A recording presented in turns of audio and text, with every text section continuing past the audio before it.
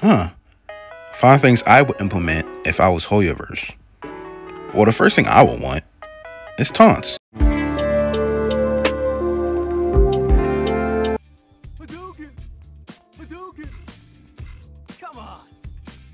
Come on!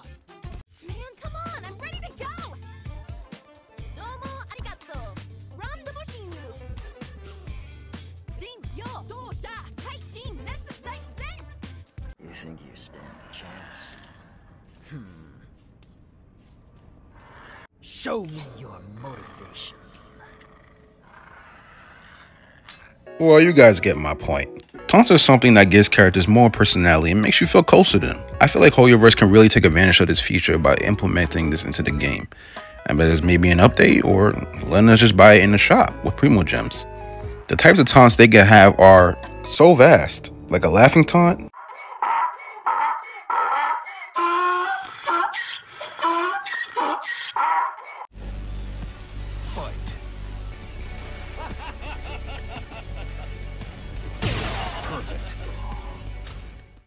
a face palming taunt,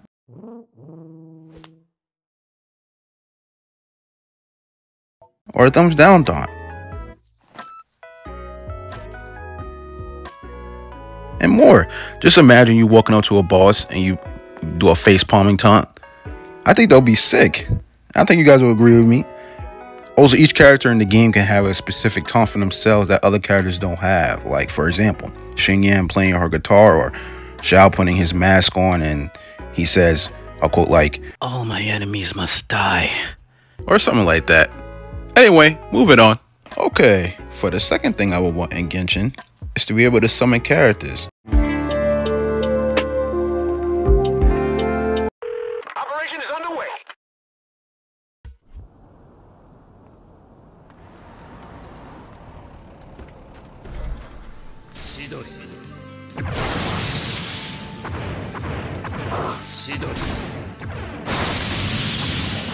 Or you could call it backup, wh- whichever you prefer. And no, I don't mean to gotcha. I mean to literally summon characters to battle with you while you're fighting enemies. Okay, this one might be a long shot. Well, I thought it was worth putting in the video. Because listen, I don't know about you guys, but sometimes while doing commissions or just fighting enemies, I get kind of lonely. So I was thinking maybe a Hoyoverse should implement a feature where you can call characters you have in your characters list to help you fight in battles, you know? The ones that you build and have good stats on, you know, just to help you out, you know, or just to chill around. I don't know. I just thought this would be cool for the people who get lonely like me in battle and just want someone to join them besides just players, you know? Anyway, on to the next one. Let's go. The third thing I would want in Genshin is that on character birthdays, I want to be able to hang out with them and celebrate their birthday. I feel like what they do now is cool and all, but they could do so much more. They could improve so much more. If not a birthday hangout, there may be a personal picture of the traveler chilling with that character on their birthday. I know Hoyoverse can do it. I feel like they have the resource for it, and it just I feel like it'll make that system so much better if they they got the chance. Okay, this was a short one, but not everything has to be big and grand. Some some things sometimes we just need little things just to make the game better.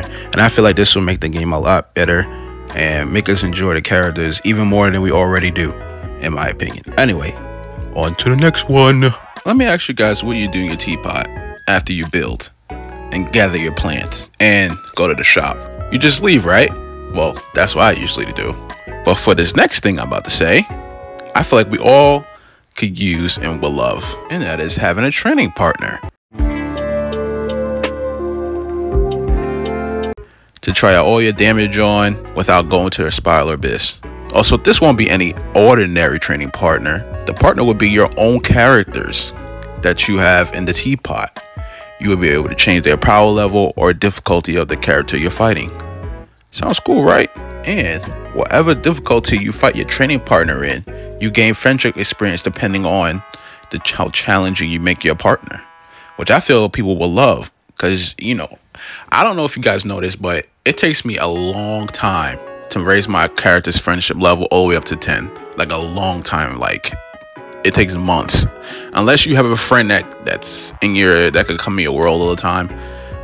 Um which I don't. So that's not gonna work. So I feel like this method will make people want to go to their teapot more and gay friendship experience. Like I feel like that's the best course of action for Hoyoverse to do. Cause I feel like all types of people would join it. People who love the fight, the the, the fighting system in the game, and people who just want to hang out in a teapot and doesn't have anything else to do. I feel like you could fighting your own characters to see how strong they are, or to test out your own damage, like what you're doing at the moment. I feel like that would be cool. But hey, that's just me. Now, on to the last one. Let's go. Artifacts. Tisk. Tisk. Tisk.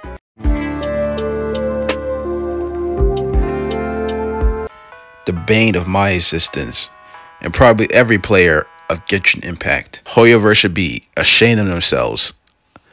Uh, this kind of odds in this game, this this kind of luck, it's unbelievable. You need to get good stats in this game.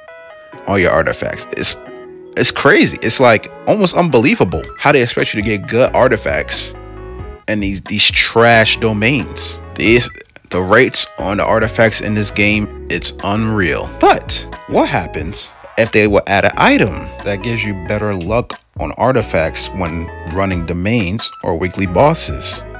Hmm, interesting, right? I feel like it's easier to get a C6 on a 5 star than getting good stats on an artifact set. Or am I wrong? Let me know, guys, because I feel like I'm right. That's why I feel Hoyoverse should introduce an item that, like condensed resin, where instead of getting more artifacts, you can increase the odds of getting better artifacts because I think choosing your stats will be just a tiny bit OP. I can speak for the whole community when I say that artifacts are a scam in this game. But that's just me, in my humble opinion of course. Also, we only can use this item once per day. And to keep it somewhat realistic for Hoyoverse, Maybe they can put it into the shop so you could buy it for I don't know for like something low, like 50 primogems each day. Like, and you can't overspend. Like, you can't get a bunch of them, but you only get one each day if you decide to use your primogems for that. I feel like that'd be a good compromise. You know, 'cause since you can't, because I think I don't think it would be fair they put in a battle pass or something, or I don't know.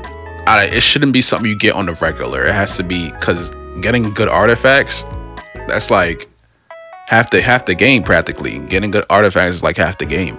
So I feel like it should be somewhat challenging to get some, but not too too challenging like it is right now. But hey, that's just me. this is something I feel like Genshin really definitely needs. It'll make the game 100 times more better, in my opinion. If the other four don't come true, then I just hope this one does because I feel like this one is the most important. That's why I saved it for last. And I hope you guys like the list because I just wanted to put some little minor things that I wanted to be in the game to make it more fun for me and for everybody else. But hey, you guys might not like it, or you might you guys might have better suggestions than me. Let me know down below, and I'll see you next time. Maybe I'll do another one of these if you guys want it. That is. but anyway, I'll see you guys later. Mr. Orange out. Peace.